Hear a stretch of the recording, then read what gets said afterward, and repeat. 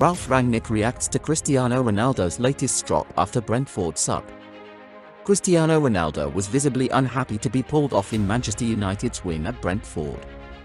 Manchester United interim manager Ralf Rangnick has reacted to Cristiano Ronaldo's outburst after coming off against Brentford on Wednesday. Ronaldo threw a tantrum after Rangnick pulled him off in the 71st minute and was visibly furious with the decision after sitting on the stairs of the host's dugout. Speaking after full time, Rangnick made it clear he understood Ronaldo's frustrations and explained his decision to withdraw him from the game. He told BT Sport, it's normal. Ronaldo is a striker, and he wants to score goals. He's just come back from injury. Ronaldo had missed United's previous two games against Aston Villa, the 1-0 win at Old Trafford in the FA Cup third round and Saturday's 2-2 league draw at Villa Park.